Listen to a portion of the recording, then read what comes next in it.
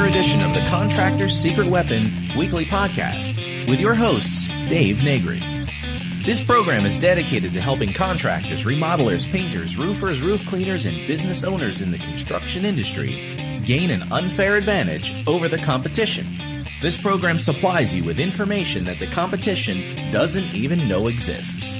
This session brought to you by ContractorsSecretWeapon.com. Before we get into the conversation with you, I just want to do a shout out to our sponsors who help uh, promote uh, Contractor Secret Weapon and just some of the things that they have in store for you, our listeners. Hey, is your phone ringing enough? Do you want it to ring more with highly motivated and qualified buyers that contact you, the contractor, directly?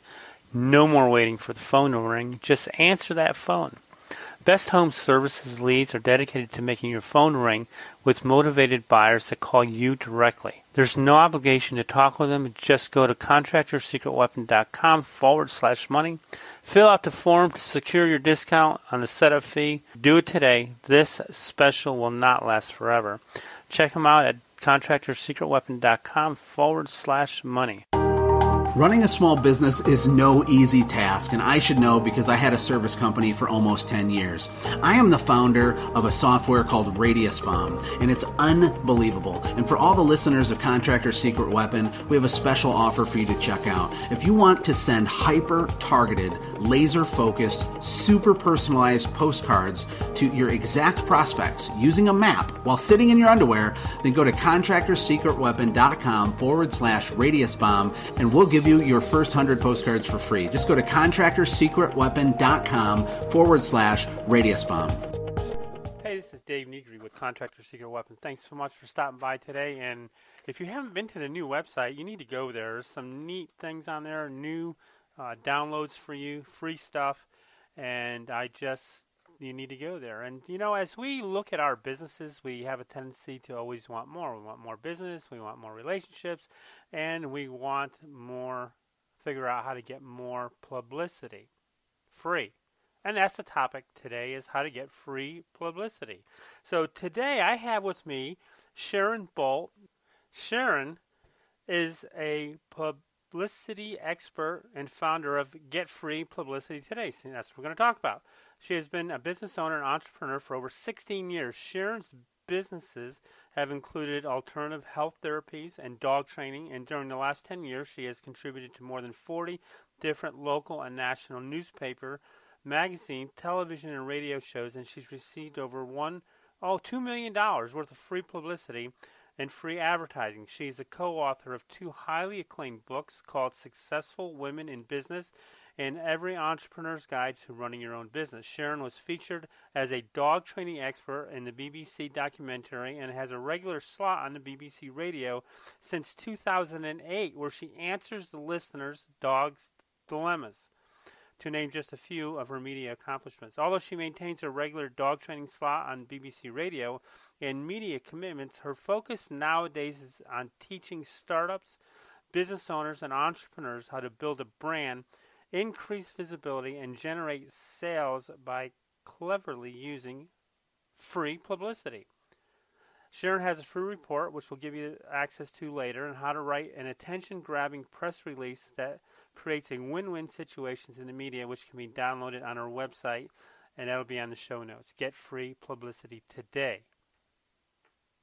Sharon, I am so excited to have you here today so that you can share with our listeners um, basically how to get free publicity. But more than that, it's how to create win-win situations with the media and get you and your business featured time and time again. Uh, tell me, how did you get started into this uh, PR business? Well, yes, it's uh, actually quite shocking for people, Dave, when I first tell them about my first media experience because I got myself booked on BBC Radio 2, which is a national radio station in the UK, without any prior media exposure. Now, what is even more shocking than that to people is that I was introduced as a dog training expert answering dog behavior questions when I actually had a natural healing therapy business and not a dog training business. what had happened, Dave, is we'd got two young puppies at eight weeks old, Parson Russell Terriers, and oh, I started to. Ones.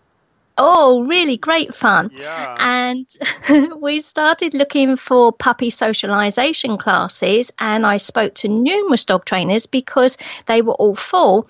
But when I said what I had, they said, oh my goodness, this is the worst case scenario. they're, they're going to fight for the top dog position, they'll do what they like, and you'll very likely need to rehome one. Now, as you can imagine, Dave, I was devastated. I thought, yeah. do you know what? It's like giving up a child, isn't it? You yeah. know, you just got these lovely, cute puppies. So I said out out loud. I remember I looked at them. They were in my hands, one in each hand, and I said, "You two are not going anywhere." So I was on a mission to find a way that they understood it had to be kind and gentle. And so I started developing this particular training method that they were understanding. And it was really around about, I don't know, four or five months into that, I was getting great results with them.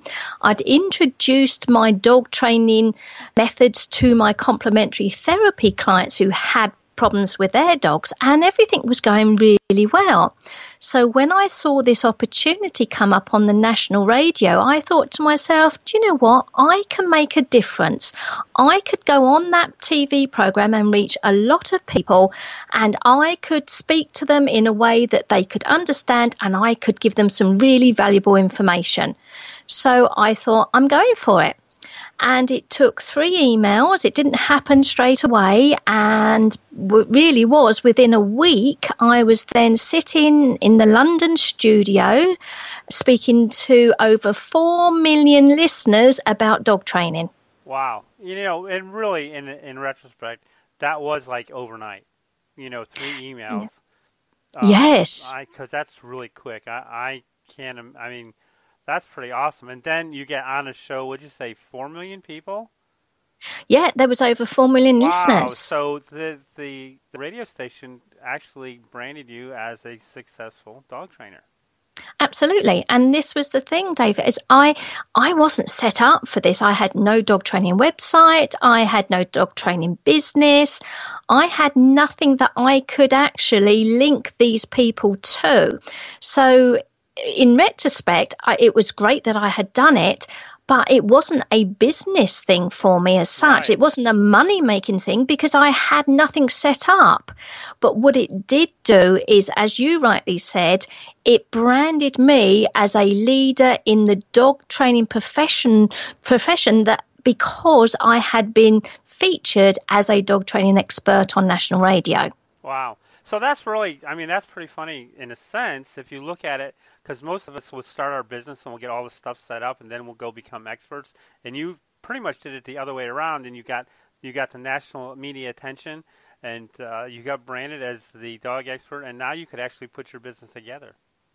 That's right. So it opened up numerous doors for me naturally because I could put this on all my marketing. Yeah. So when I when I did get my website together and everything, of course, it, it really did position me so, so well. But I always say when I speak to people now about business owners um, and, and saying to them what they need to do, I always, always say, get yourself sorted. Don't miss out on opportunities naturally. Like, you know, I, I didn't miss out on that opportunity yeah. and I'm so pleased I didn't.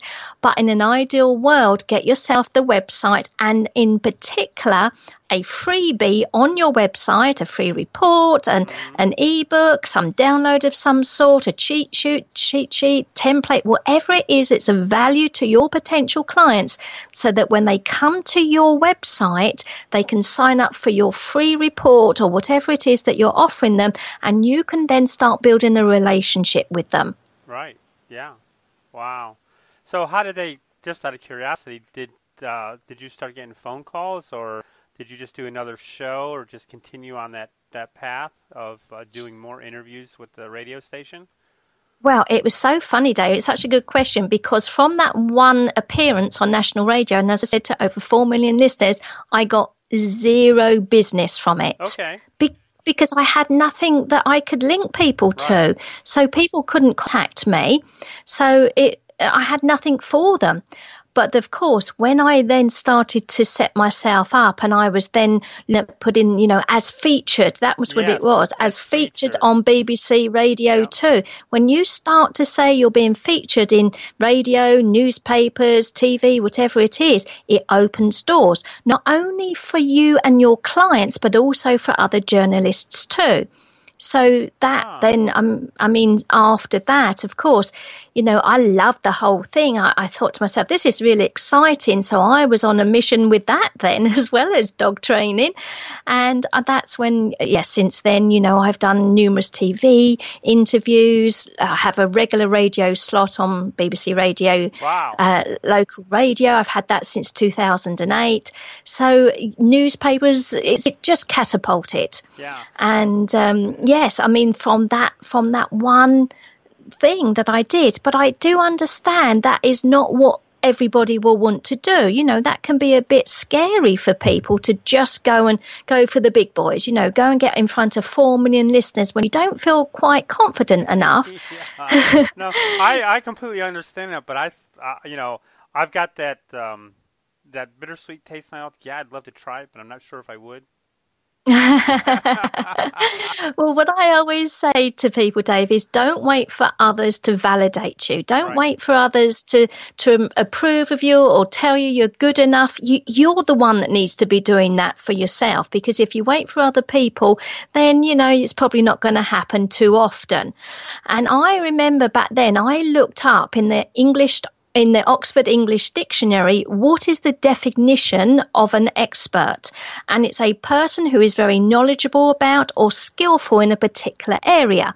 Now, as a business owner, we know so much more than most people do. Sure. And and the thing is, there's usually around about I don't know five to ten questions that we are regularly asked time and time again by our customers about our profession. So as long as you are well equipped with really good answers, then you are good to go. Yeah, you can talk about ten things for forever.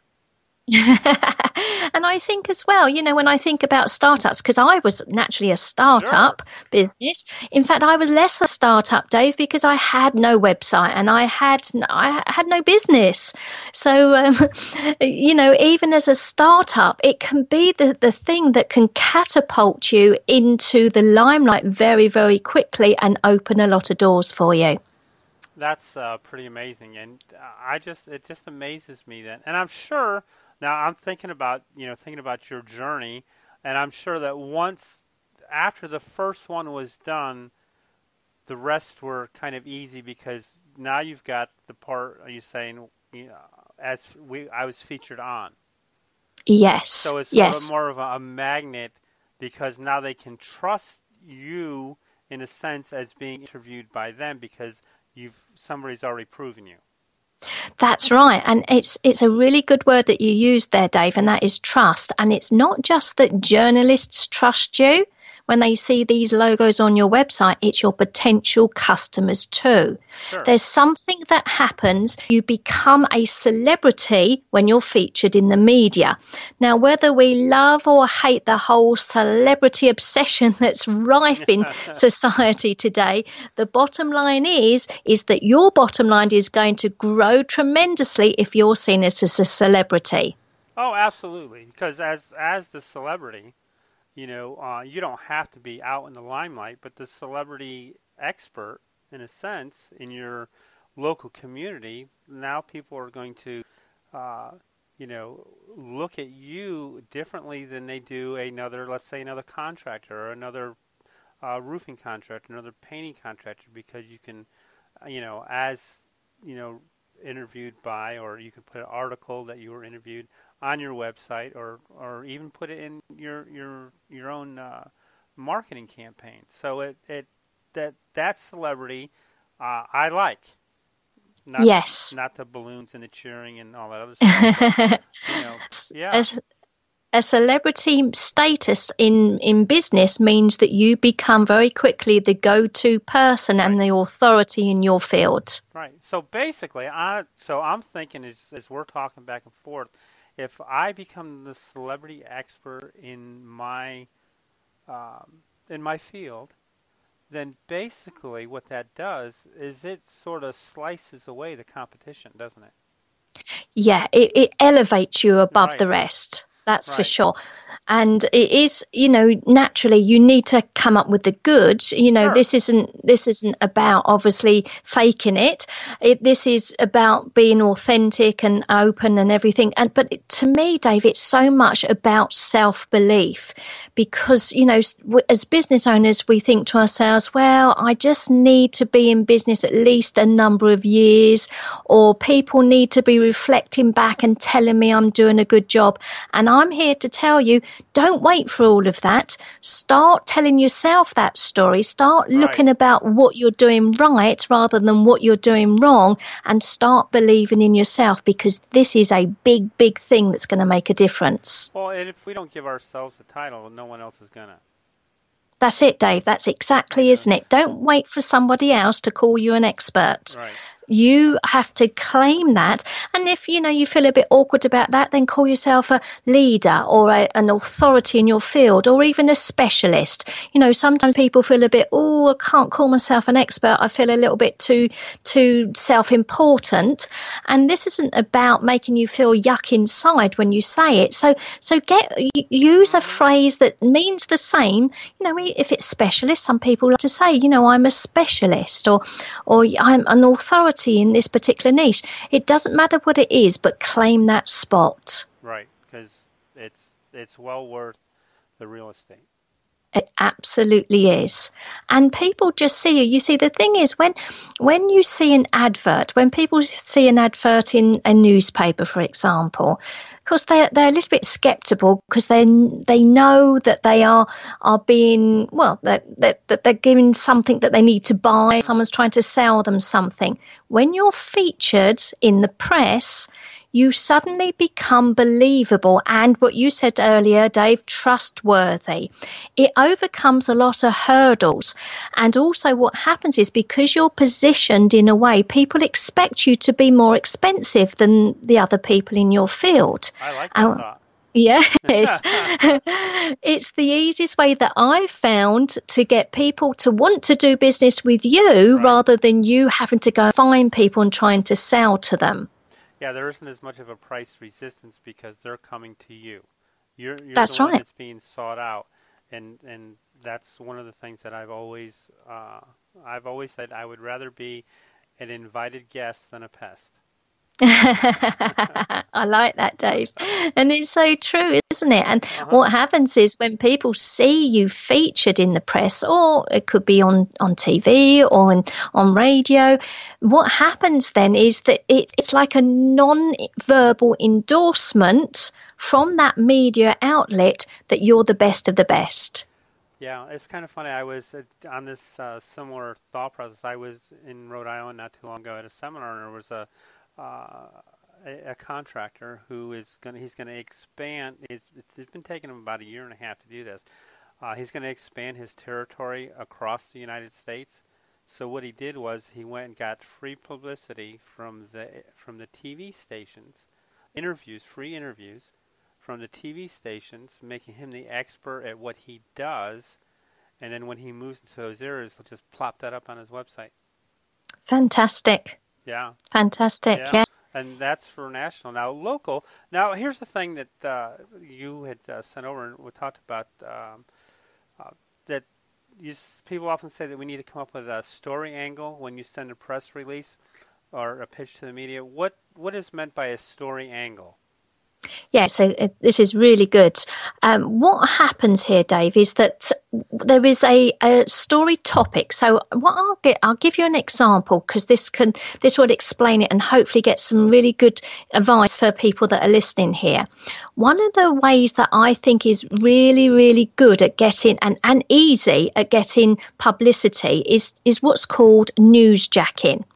So, what you do is you see what is hitting the news. So, what topics, what stories are hitting the news. And then what you do is you look to try and fine tune that and come from an angle that relates to your business. So, let me give you an example so I can explain this further. Okay.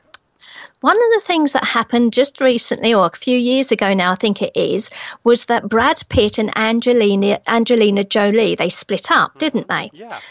Well, it sent shockwaves around the world. It was everywhere. Now, with that became lots of different opportunities for different business owners. So, for example, at that time when that was rife in the news, a parenting expert could come up with a story idea such as how to make sure your child doesn't think a divorce is their fault. Okay. Now, f- from the same story, a divorce lawyer could come up with something like seven steps to getting the best settlement from a divorce and still remaining friends. And also, from that very same story idea, a marriage or relationship expert could come up with something like five sure signs that your marriage is heading for divorce. So you take what is going on in the news, and it could be something national like or international like that, or it could be something that's just local to your industry, and you you take it and you look at how you can work that story and link it to your business. Cool. That's a great idea. I've seen that done uh, on various occasions, but I'm you know, you just put it into uh, just more of a workable state of actually thinking about it and then applying it, you know, to your business. Don't be like Brad and uh, Angelina. You know, you know, uh, you could get a better divorce settlement. well, that's right. I mean, it may be. You can use their names and stuff like that because it's out in press. It's not. Yeah, that's pretty cool. That's right. And also, be, you could use their names because everybody knows their names. Right. So, you, just a headline like that is going to get attention. Sure. So, it's it's really is. You know, uh, it say it doesn't have to be a big story, but it's something that's hitting the news, or it's something that's in the local news to you that is is really saying about something that. And you look at this news and you think to yourself, how can I link that to my business and how can I then become the expert? And sometimes it is literally that you offer to comment on a particular story because you are an expert in that field. Mm-hmm. A lot of journalists love experts to comment on a particular a news story or something that, that's come into the, the press or, or the media. So they look for people to business owners, experts to, to give them some sound advice. That's awesome. So, what, as for like us local guys, what what's the best way you are to come up with uh, some story ideas?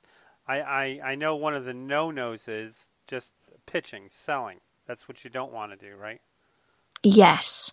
And that's that is so good that you said that, Dave, because it is the number one thing that business owners get wrong when they try to get publicity. They send out a, which really is little more than a sales pitch to a journalist, and then they wonder why they don't get publicity. Mm-hmm.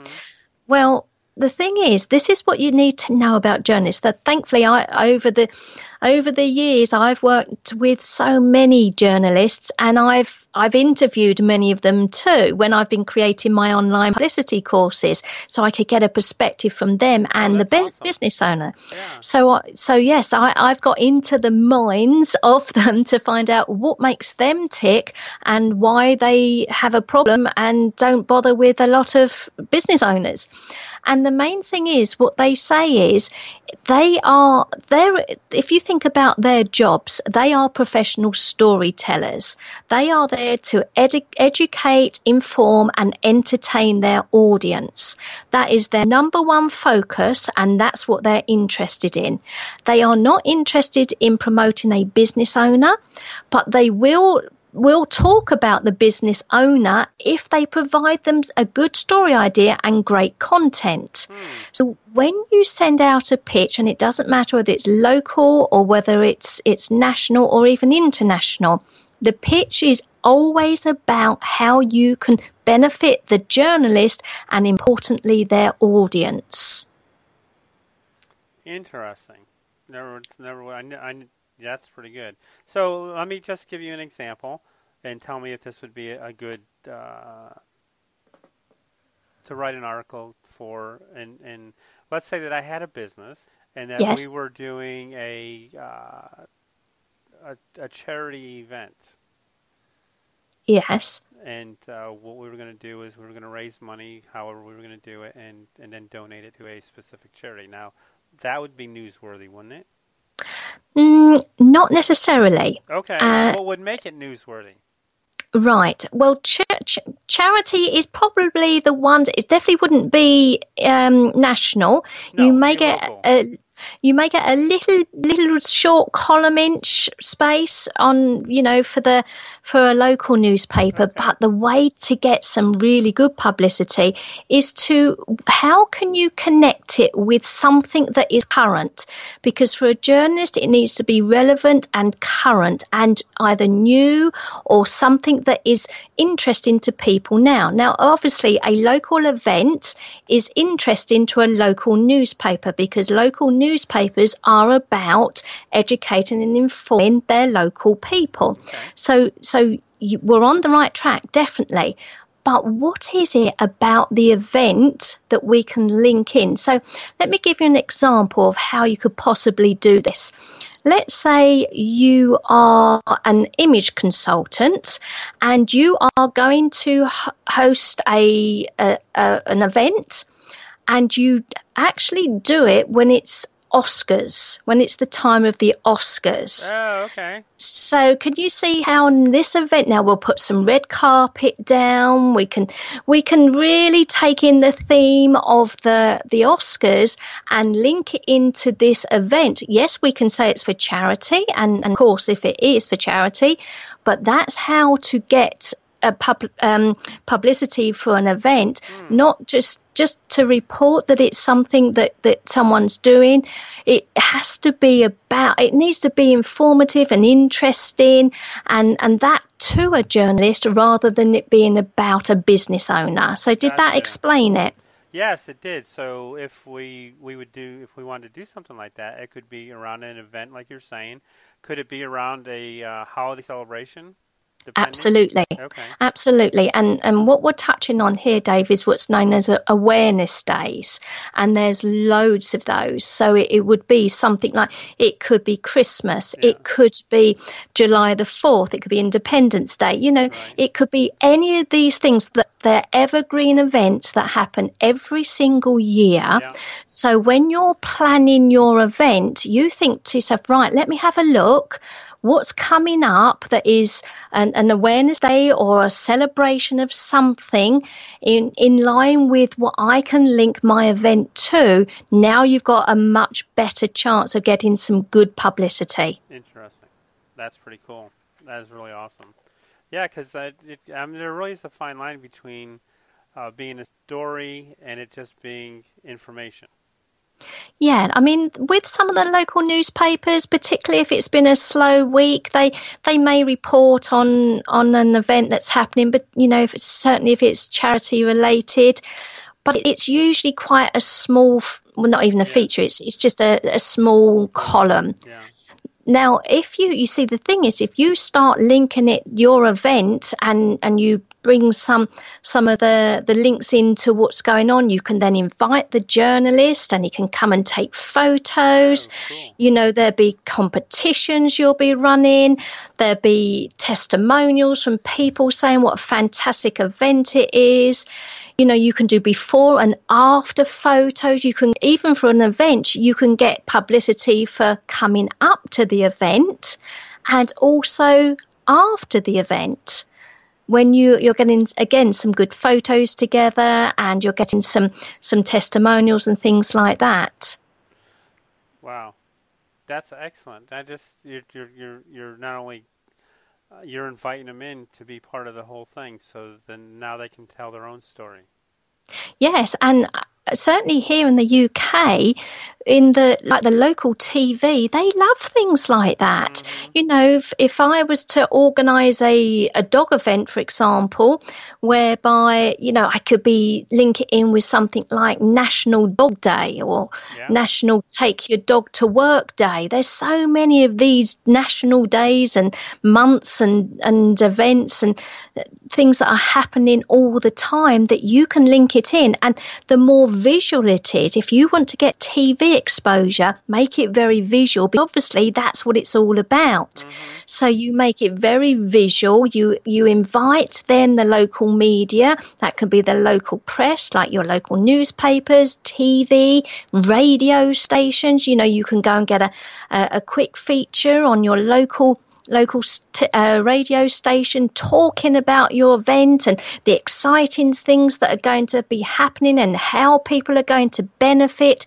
So, it can you hear when I'm t- speaking about this, Dave? It's nothing about my business. Right. It's all about all about how I'm going to create great entertainment, how I'm going to, to give great information to people, to journalists and the audience. Oh, and by the way, my business is X, Y, and Z. So it's at the end. Yeah, it's like your yeah. business is is you know it's it's off, but of course you get great exposure because you're the business owner, you're the right. person that's providing this. So people want to know who you are and what you're doing and how can they be a part of it. Mm. Wow, that's pretty wild. So, what types of stories do they normally love, especially for, for local media? Well, the first thing that you need to do is to to look at like headlines, okay. because um, the, the it's important, obviously, to get them to open the the email up straight away. Yeah and what you'll do is you you want to relate it. The headline can be very simple. So say here local to me one of the the big towns is called brighton.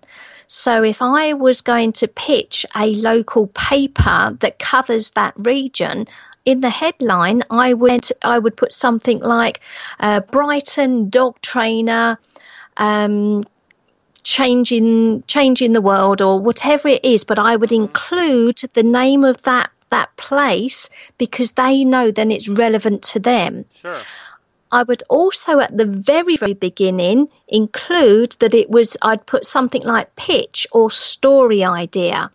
Because the thing is with journalists, whether it be local media or national media, they get so many emails. So you stand out straight away because you are saying to them that I've got a potential story that's going to be interesting to you. Okay. Okay, that makes so, sense. So you're you're you're creating a great subject line, which is basically your headline. And then, that's right. Then uh, when they open it, it says potential pitch or potential story. Now, do they ever? Just that I'm thinking off, probably off the wall here. Uh, do they ever enhance the story or make it a little bit better, or do they just pretty much go with what your what they you've you've sent? Yeah, it all depends. What will happen okay. is if they if they like what you've said, then of course they'll contact you okay. and they'll interview you. It's you know if it was for a local newspaper, they will just contact you. You do an interview over the phone. It's really easy. You can have your notes in front of you. You know, obviously you'd prepare what you're sure. going to talk about in advance, and and then you know they would depending on how much column space they have available will be dependent on how big the feature will be. But you know, you can include photos, it could be I've had, you know, I've done loads of local media interviews here with about my dogs. They come and take photos of me and my dogs because it's obviously something visually that people like yeah. to look at. Yeah. So, so you can really build on it. And yes, they will ask you questions, but it's really down to you to come up with the goods. Okay. Okay. I, what's, I think it's great. I just was just curious on how, if they did edited a bunch or depending and of course a lot has depends on this what they have available to put it into that space. That's right that's right. So so for example you know if they were looking to just fill a small a small place then it will it would just be a short interview. But you know i've done numerous features and you know full page features. Wow So, you know, you come up with a great story and you, you, you, you get creative. You know, you bring your business story into it, how you first got started. You know, for me, my business story about my dog training is about getting these two eight week old Parson Russell Terriers yeah. and being told it was the most disastrous thing I'd ever done. So, you know, you can then elaborate and get creative and, and yes, providing they have the space and then you say, well, I've got photos for you and, and there it goes. You know, you're, you're off, off to the races. That's pretty awesome. That's amazing. So I know that you have a free report that explains in detail how to write an attention-grabbing press release uh, that our listeners can download at uh, getfreepublicity.com. However, can you briefly explain what a press release is and why your why business owner should be using them? Yeah, this is this is really good, Dave, because whether it's a press release or a pitch, we we all need to be do, sending stuff out to mm-hmm. to the media for sure. But a press release, what it is, it's like a standalone document that we send to a a journalist, and it contains the information about what to include in it. Now, the idea of the press release is to give as give as much information while still keeping it to one page so that uh, if it's just a small column that's that a journalist wanted to report on they could take information from that particular press release and and go with it but there is a particular format to use. So that's why I've written this this free report so people can go and download this because I explain step by step what to include in each each paragraph so that it is user friendly for a journalist. Because the key thing here, Dave, is that that the trouble is a lot of business owners will send out a press release and they don't know how to format it and what to include in it. And of course it, it never gets looked at. Right. so so that's why if, if people go to my website getfreepublicitytoday.com they can download that free report so they can start get get get going with with getting some publicity straight away. Cool and we'll put that in our in our show notes too. Um, this is really awesome. All this all this fun stuff.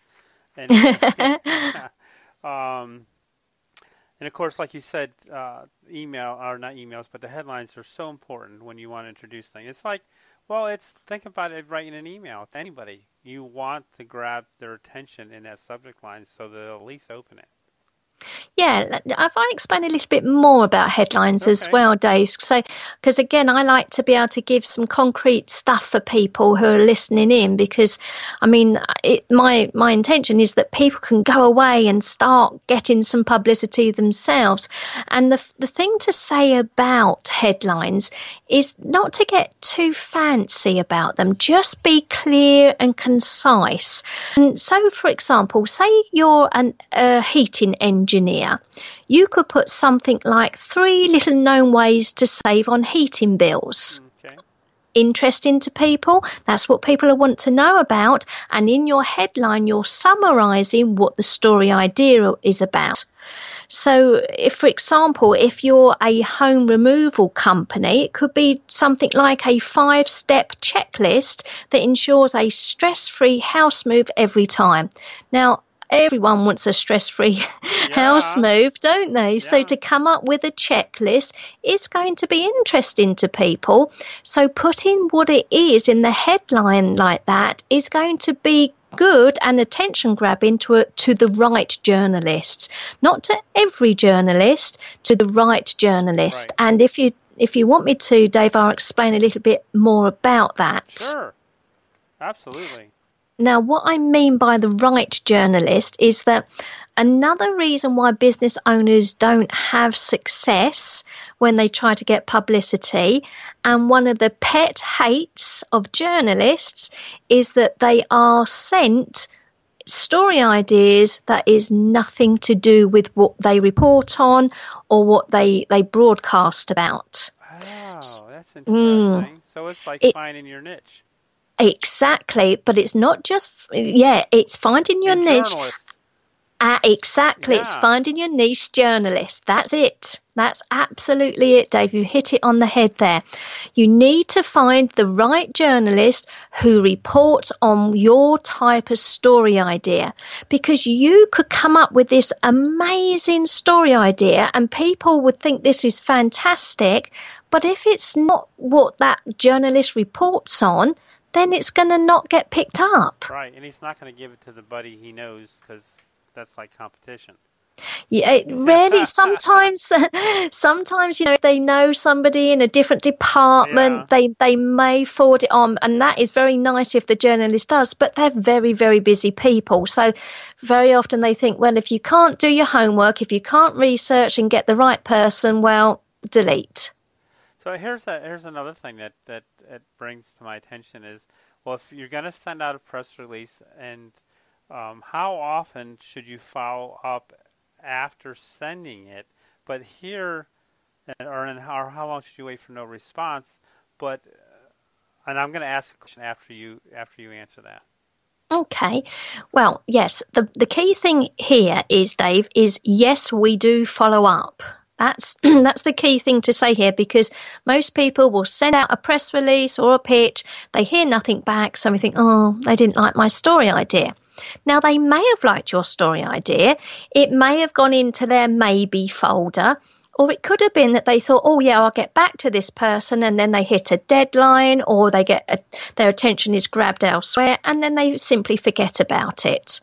So it is important that you follow up, and if it's just a if it's a story idea that you know there's no really time there's no time frame to it then 3 to 4 days after you've sent it out is a good time to follow up if it's something like an awareness day, so say Christmas is coming and mm.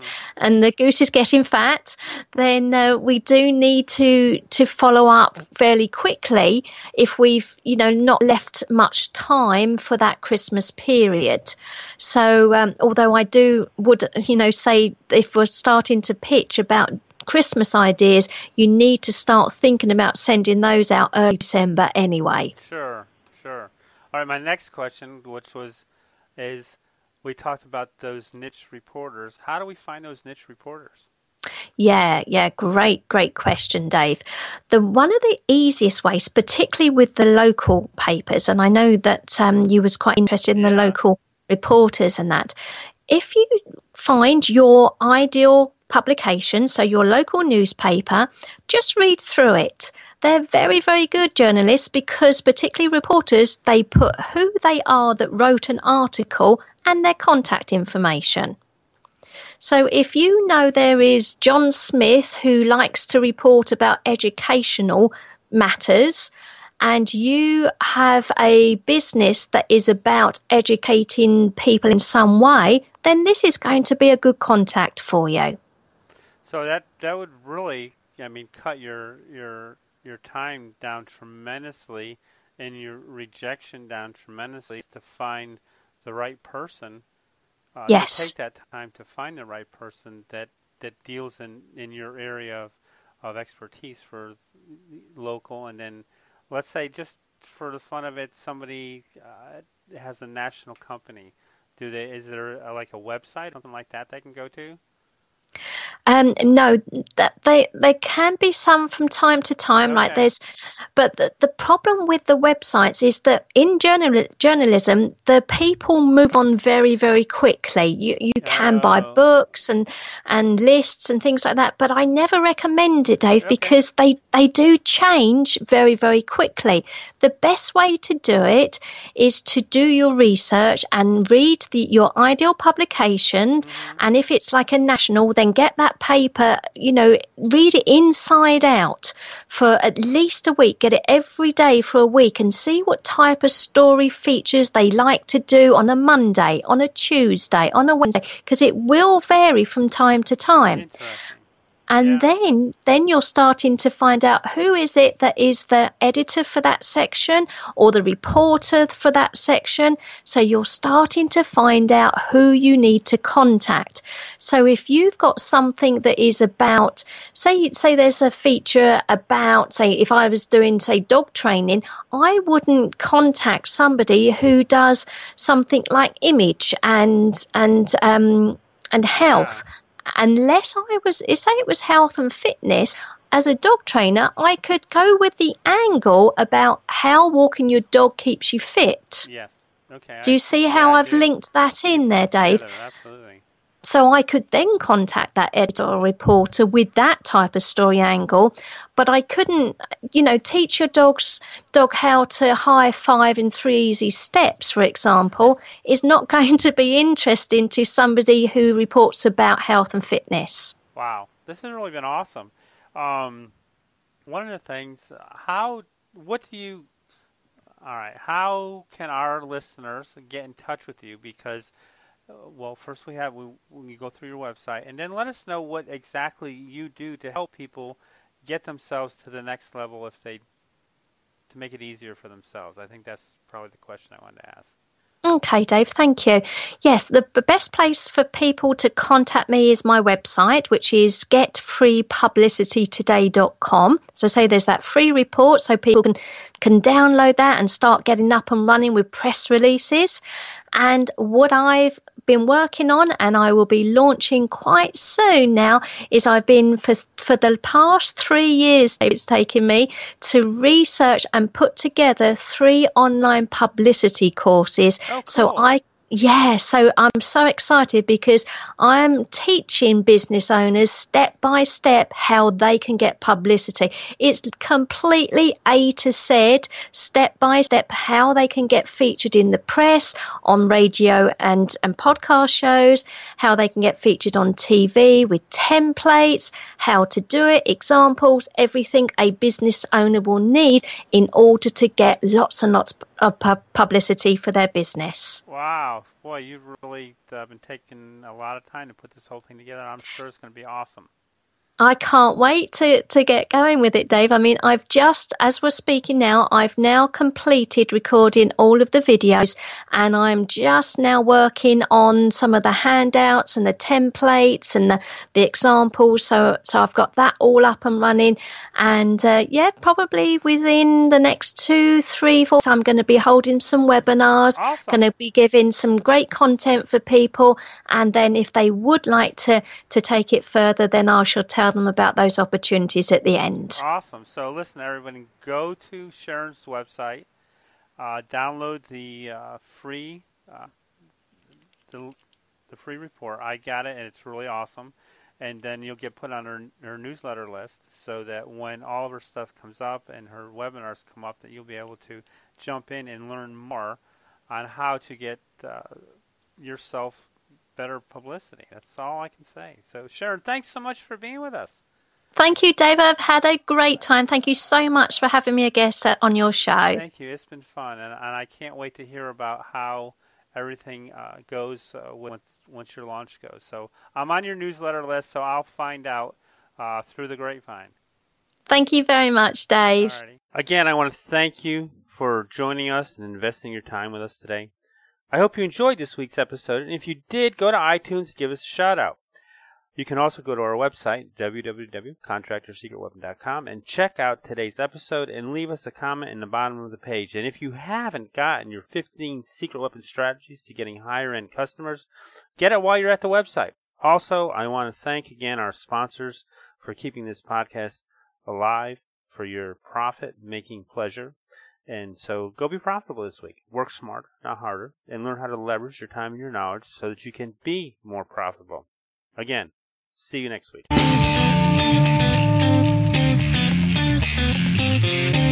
Thanks for joining us for another weekly episode of the Contractor's Secret Weapon podcast with Dave Negri. We would love to hear your comments about this episode, so visit us online at www.contractorsecretweapon.com and let us hear your thoughts. If you were listening via iTunes, please leave us a positive review. The more positive reviews we receive, the more other contractors will benefit from this show. Thank you, and see you next time here on the Contractor's Secret Weapon Podcast.